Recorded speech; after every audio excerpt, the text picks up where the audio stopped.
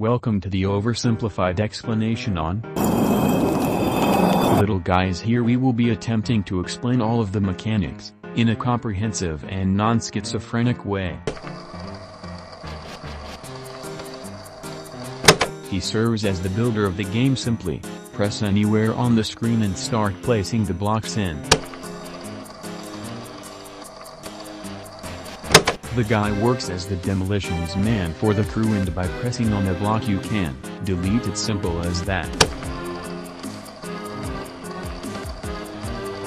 Having a variety of colors to choose from, select one of them and press on any block to color to the chosen color. Working as the sculptor he can make a variety of different sculptures by simply selecting a type and pressing on a block to sculpt it up. This little guy serves to change the texture of the blocks you click basically, just like the red and yellow little guys, but using the same generic Roblox textures. The orange little guy allows you the ability to change the block's direction, simple as that. He can change the opacity to blocks. Place platforms under you in a single click to facilitate positioning while building and, with the latest update you can drag it up and down with its arrows. Spawn carts, bounce pads and teleporters in a press of a few buttons.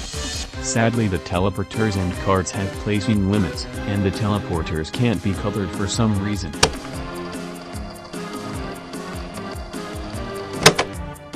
Pick a block then a decal it and then, start placing it onto the blocks.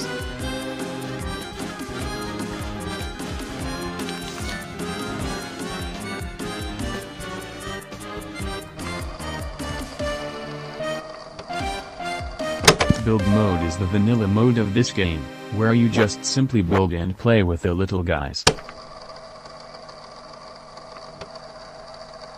Play mode completely changes the game and trades off the little guys for more movement options like crouching, double jumping, jump dashing and wall climbing.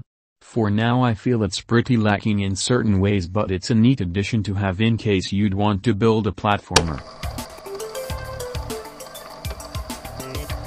And thank you viewer for watching an overly simplified explanation on Little Guys.